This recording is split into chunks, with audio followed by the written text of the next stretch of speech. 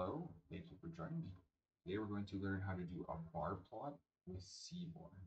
Okay, so we've imported, so we import Seaborn, Seaborn, SNS, right? So this is our alias for Seaborn.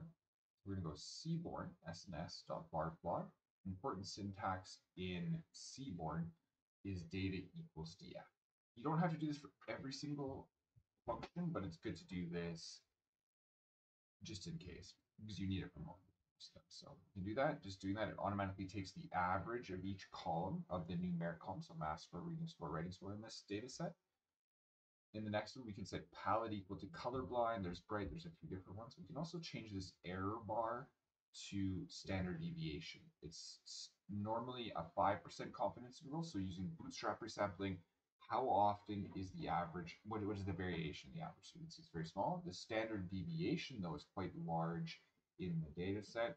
We change the orientation using H to be horizontal and setting the confidence interval to 90 instead of 95 or standard deviation. Go to this next one. This is kind of important.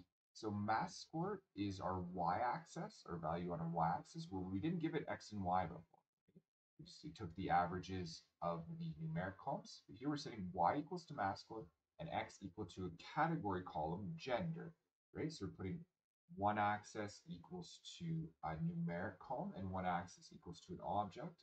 We see gender is two, then we can do a larger one where there's uh, four. When we do this, we start to get a lot of labels and stuff. So we can go plt.xticks rotate equals 50%.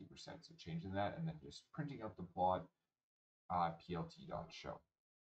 Okay, and so here's just an important concept. You can do a continuous on one axis and a category on another axis with Seaborn and automatically groups by that category. It's a really handy feature and you can do a lot of interesting things.